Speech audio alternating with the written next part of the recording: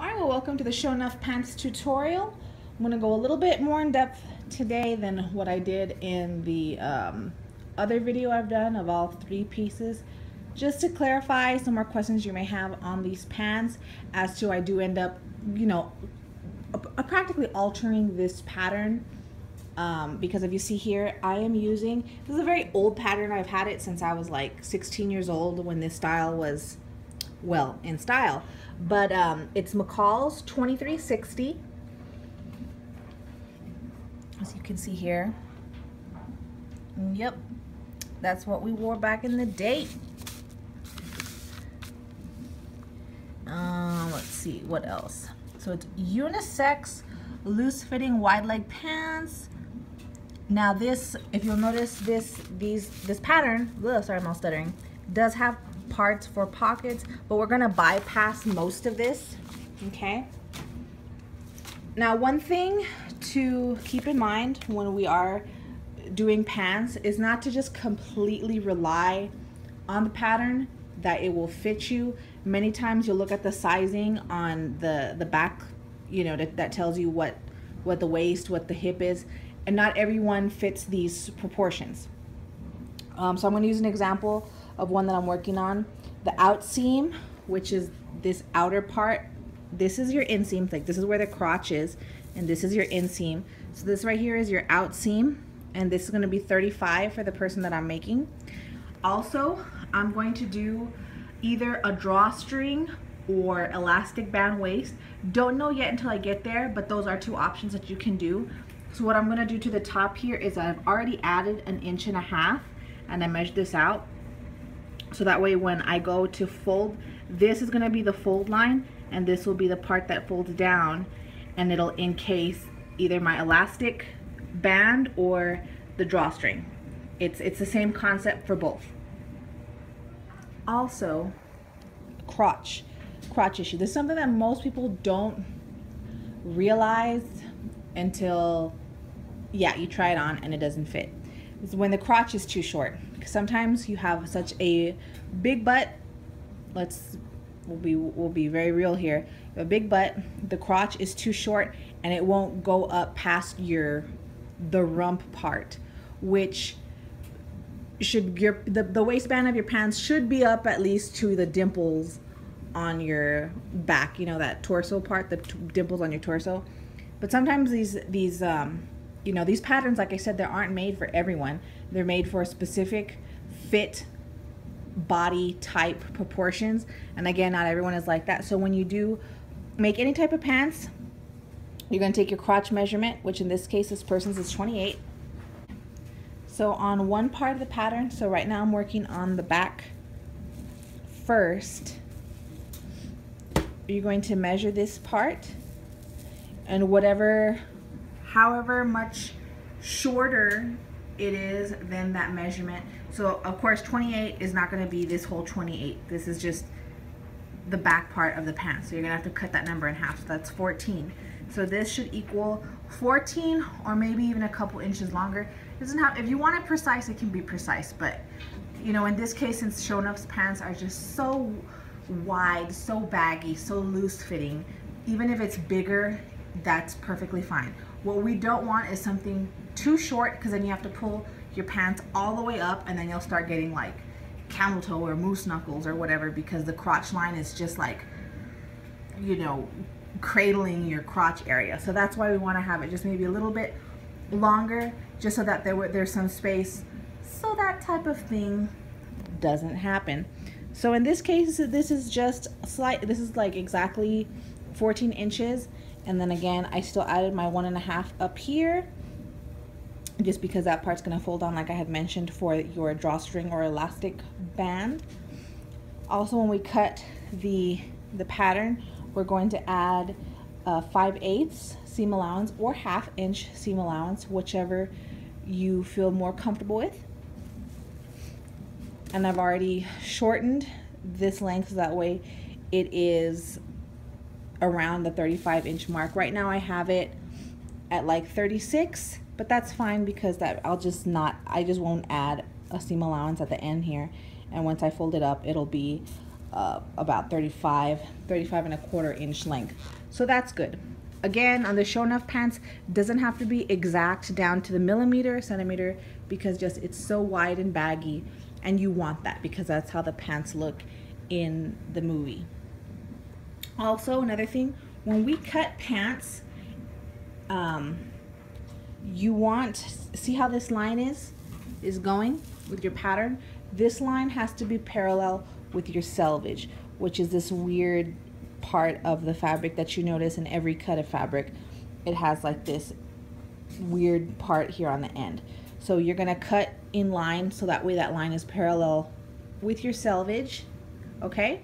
So for the back, we're going to cut two.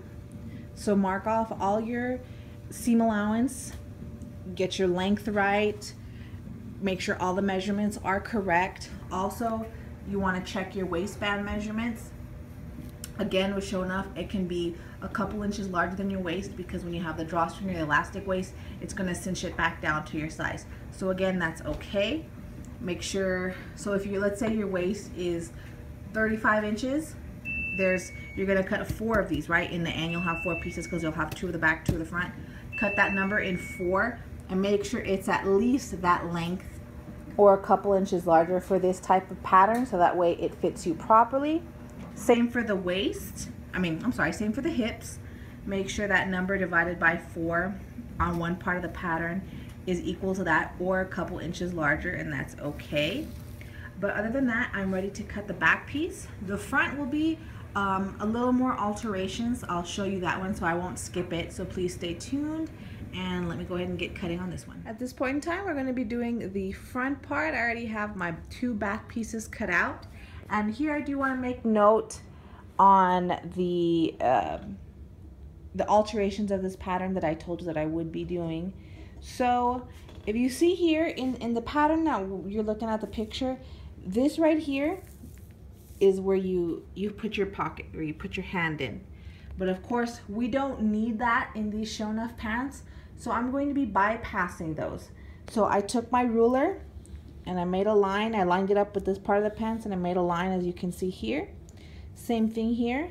So we're gonna just bypass this whole thing and then I still added my one and a half inch extra there for my little uh, tunnel for the casing or the drawstring. Also here I want to make note because there this is not going to have a front zipper so that that extra flap panel part that's added is uh, I folded it down as you can see. Um, I, I just folded it so this way this is a continuous line. Otherwise you would have had like this thing here and that's what you use when you do like the jean zippers. But we're not doing that. So again just tuck that in double check your crotch length um, you know whatever your crotch length is and I will leave a video a really good video link that I found a while back that helps. That it's just a great help if you have no idea how to take your crotch measurement. It's an excellent guide, and that's how you're going to get your number in order to check your crotch length and then make sure that the pattern is going to fit you as well. Check my length. Those are the only two alterations here. Again, you're going to cut two front pieces. Again, keep it in line with the selvage, which is like hanging off on that side of the table. So we're gonna cut two and then after we cut, we have our four pieces, then um, we're going to do the little red triangle things that go on the top front of Sho Nuff's pants, which is just like, you know, a real thin triangle. Uh, we'll go over it right now, but have your red fabric ready. Also, just to make note, I did choose cotton just because it's more inexpensive um, of course, if you want to do this in denim, knock yourself out. But you know, we're not trying to keep this. I try and keep my costs low for my clients as well as yourself. If you want to just make this a simple Halloween costume, I just got like the symphony broadcloth type fabric at Joann's. That's where I buy all my the majority of my fabric from. So let's go ahead and cut these two out and then we'll go further with the little red triangle things. Okay, so now we are at this point. So basically with, oh, oh, sorry, let me move my thumb there. So basically with these little red triangles, there's no particular pattern to start off with, you just take a um, rectangular piece of red fabric and you kind of just eyeball a triangle out of it. Have it fit because you're going to need two. Um, a more accurate Sho Nuff costume, he does have two red stripes in the front, um, which I'm going to do. I don't think I had that in the original video. Uh, I had one stripe. So let's get it more down accurate. Let's get two in there. So kind of eyeball it, you know, if if you need to make it skinnier, you just fold it in half and trim along the side at a dia diagonal until you get your first piece of the triangle. Once you have it perfectly and you kind of place it on here and it, it fits and it looks like you can fit another one on there, then just take your first piece, that'll be your pattern, and cut um, three more out of your red fabric and that'll be the red stripes for this. I did on the black fabric get my center point at the top and the bottom, but mainly it's more for the top, um, just to evenly space out your two red triangles. So I have my center point here and each triangle is two inches apart. So they are four inches apart equally. So that way you can have it even on both front legs of the pants. So everything's even. Now that I have everything placed, I am ready to fold, fold these down and sew them. And get my, my pins here. So you're just gonna like fold, do a little skinny fold like about that. That's like mm, less than half an inch. You know, not, you know, it doesn't have to be like a real fat fold. Just kind of fold it, pin it, and do this all the way for both of them, and then sew them down do that for both front legs. And then once you're done with that, give it a quick press just to press down the folds that you made, make it nice and crisp. And then you're gonna take both front pieces, right side together, right side. So both red triangles will be inside when you sandwich these together. And you're gonna sew just the crotches together. Same thing with the, the back part of the pants. You put them together, line them up, and just sew the butt crack of it. And then once you have those two pieces, then, you know, I'll continue with the tutorial. But it's really simple. Every time, anytime you make pants or shorts, you put right sides together, right side to right side, and you always start with the crotch or the butt crack. Of course, if you're doing zippers, there is a point that you stop in the, at the front part, but you know, I don't want to confuse you, but that's that's pretty much how we're going to go about it. So just do okay. that. So now um, I've serged. If you don't have a serger, you could use uh, just a zigzag stitch on this crotch line, but I sewed that one. Now you can see this one is sewn too. So now I'm going to open both up and I'm going to, you know, put them right sides together. Right sides to right sides together. And then sew them on the outside first and then um, and then when, once I've done that then you line up the crotches and then you sew your your U to for the leg which I'll show pictures of as I do. So now we're on to the waistband. Um, so when you cut your your waistband you always want to cut it mm, in in in my opinion it's would be the most comfortable so let's say your waist or the hip measurement, wherever you wear your pants at, is 40. So I would cut an elastic, uh, elastic, you know, piece of elastic that's maybe 33 inches long. So seven, so five to seven inches shorter than what the actual measurement is with. So that way it's nice and snug on your body, but it's not too tight to where you're incredibly uncomfortable, but it's also not loose enough. So that way if you're like jumping around or something, your pants don't fall down. So that's what we're gonna do. So I have mine cut out. And how you start it off is you'll put it to the, oops, sorry.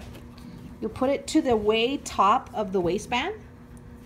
And then with either a serger or a zigzag stitch, catch the edge with the elastic. And you're gonna do that all the way around. Make sure that when you do it, you do section, section it off by pinning it to make sure that um, it's even. Because sometimes if you don't pin it off in the even spaces. And I'll show you right now what I mean by that when I'm sewing it. is just because you might sew it and not stretch this and then when you start getting towards the end there's all this slack and then you got to pull your elastic a lot and sew it so when you when it's done it's uneven like this side will be all scrunched when it's unworn and then the rest of it will be loose so you got to kind of like I said pull and pin it in place so that way when you do go and pull to sew it all the scrunch is even around your pants so let me show you how to do that and then I'll show you how you finish off the casing. Because, uh, you know, another thing you can do if you're a beginner at this is just fold this down to whatever width your elastic is and then sew it and then make you made like a tunnel and then feed this through with this uh, a safety pin. But the problem with that is that a lot of times when you make pants like that or something that has a casing like that, over time it starts to twist and flip around inside and you feel it. And it's it's just super annoying. So it's best to try and do this the correct way the first time to avoid that problem. So let me just show you. All right just a little close-up of what I meant earlier about evenly putting the elastic band so just start with one side like start with the back seam like I did here and then pin it down and then pull your elastic in half and get that half point and bring it to the front center seam, which is right here, and pin it. And then same thing, and then pull it, you know, the opposite side now, and pin that to the side seam. And see how I was saying there's lots of slack? So you have to kind of stretch this to meet the cloth as you're sewing. But if you pin it like this and you stretch it as you're sewing, then it's going to be even. So as I'm sewing, you know, this, I'll have to stretch it for the, the cloth. Hopefully that's understandable here. Um, so yeah. So you see I started sewing it and I'm pulling this as I'm, I'm sewing it. See how there's all this slack right here in this section? So technically have like four sections that I was explaining when I was, when you're pinning it and making everything even. So you pull the elastic as you sew. And again, see how the slack is? I've been I've been pulling it as I'm sewing it. So right here, see how it's the slack's gone and it all meets. So that's pretty much what you have to do. Like pull it to where it fits the pant part of your waistband. And then that way when you let go, that scrunch is even. I hope that's that's that's the best explanation I can do. It's kind of hard to do this one-handed, so I have to just do this, put the camera down and do it, and then show you right now when it's done. As you can see, it's evenly scrunched around all the all the top of the pants. So now what I'm going to do like I said, I'm to fold it down and stretch it as I sew, and that'll case it in, and now it'll look a lot better. I had to switch sewing machines because I think my other one is finally in need of servicing. It's just, yeah, it's not working very well anymore. But thankfully I have this as a backup and I can continue. So let's go ahead and get with this. So I'm just gonna fold this down and stretch it as I go.